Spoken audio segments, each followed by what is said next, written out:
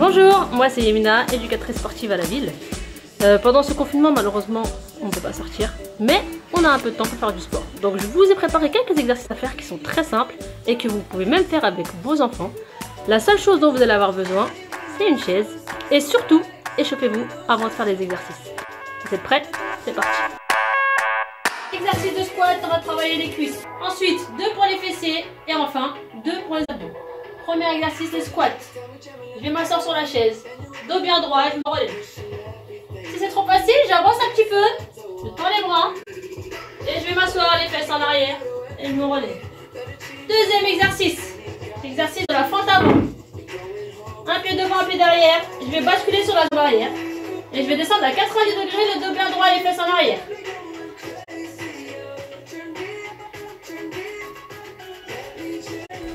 On passe à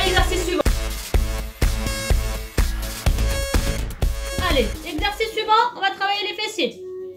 On va poser les épaules au sol et on va lever le bassin.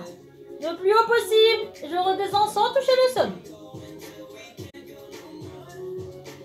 Deuxième exercice des fessiers. Je me mets à quatre pattes. Je vais lever la jambe, tendue. Hop, et je vais monter le talon vers le haut et je redescends. Si c'est trop facile, je ramène le genou vers la poitrine et je lève le talon. Les abdos, dernier exercice.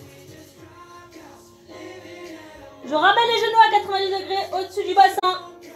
On lève un peu les épaules. Et dernier exercice. Je vais essayer de toucher mes chevilles. Droite, gauche, droite, gauche. Voilà, la séance de sport est terminée pour aujourd'hui. J'espère que ça vous a plu. En tout cas, n'hésitez pas à la faire avec vos enfants. Euh, surtout, n'oubliez pas de vous étirer, c'est très important. De boire un petit peu d'eau. Euh, D'ici là, prenez soin de vous et surtout, restez chez vous.